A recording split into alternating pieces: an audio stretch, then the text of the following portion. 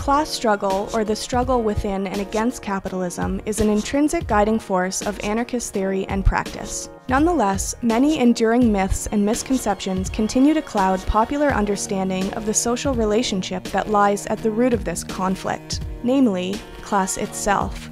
So, what is it exactly? And what do anarchists have against it? Most people today primarily associate someone's class with how much money they make.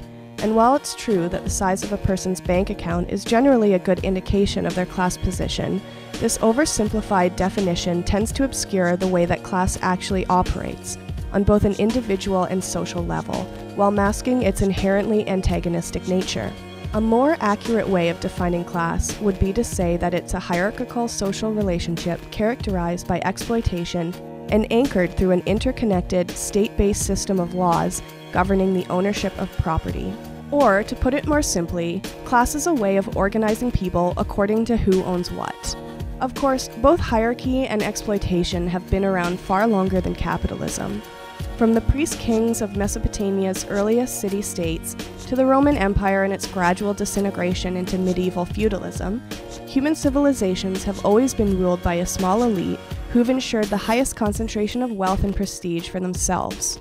The rise of capitalism displaced early feudal systems of social and economic control, such as the divine right of kings in Europe and the mandate of heaven in imperial China, replacing these outdated superstitions with new, more sophisticated social myths based on the sanctity of private property and the unquestioned domination of the free market. Back in the mid 19th century, the famous socialist philosopher Karl Marx carried out an exhaustive exploration at how capitalism worked and the historical processes by which it had developed. Many prominent anarchists at the time, such as Mikhail Bakunin, bitterly disagreed with Marx and his followers on the question of revolutionary strategy, particularly the role of the state.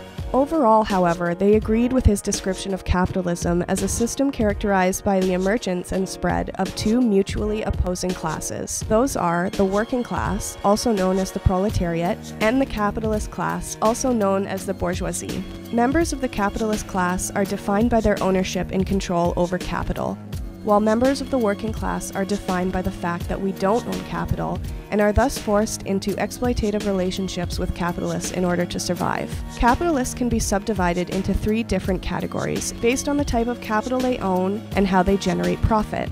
The first of these are industrial capitalists, who own and control the means of production, a fancy phrase to describe the tools and equipment necessary to produce commodities. In earlier stages of capitalism, this usually referred to owners of factories and mines but nowadays could refer to the owners and shareholders of a wide variety of businesses, anything from fast food restaurants to software development companies. In other words, an industrial capitalist is your boss.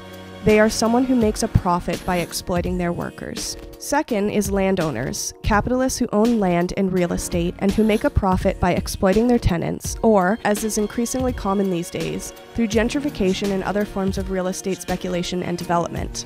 And finally, financial capitalists who make a profit by loaning money at interest. This could be anyone from small pawn shops and payday loan centers, all the way up to the globe spanning banks who loan money to other capitalists and even governments. The shift towards neoliberal capitalism, beginning in the 1970s, saw financial capitalists massively expand their influence over the global economy. This expansion has allowed them to ramp up their direct exploitation of the working class through the introduction of new household debt instruments, such as personal credit cards, student loans, and subprime mortgages. Over the years, the character of class exploitation has transformed as capitalism has evolved.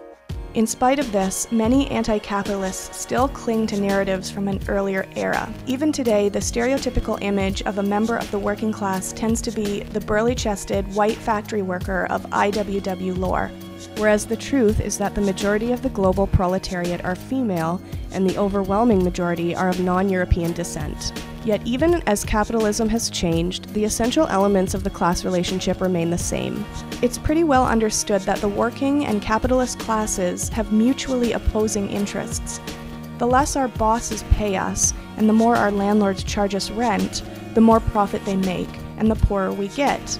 What's less understood, however, is that capitalist laws of universal competition and constant growth create and shape internal divisions within each class. Capitalists within a certain industry are constantly competing with rivals over market share, which means that they must maintain a certain rate of profit or risk going out of business. And capitalists from one industry sometimes have interests that run entirely contrary to those of another. High oil prices, for example, will lead to higher rates of profit for corporations like BP and ExxonMobil, but they can be devastating to capitalists in the manufacturing or transportation industries.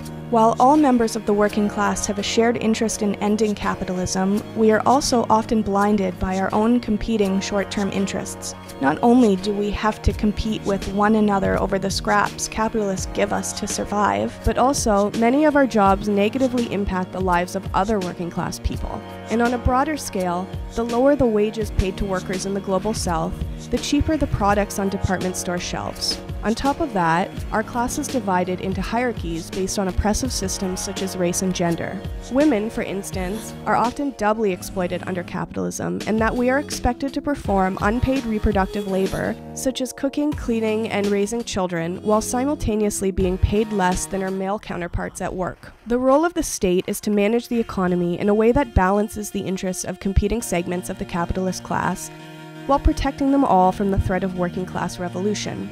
This is often achieved by playing up divisions within the working class based on nationalism, religious sectarianism, white supremacy, and patriarchy. It is only by destroying these oppressive and divisive systems that our class can come together to wage a unified class war and begin to liberate ourselves from the shackles of this parasitic system of exploitation.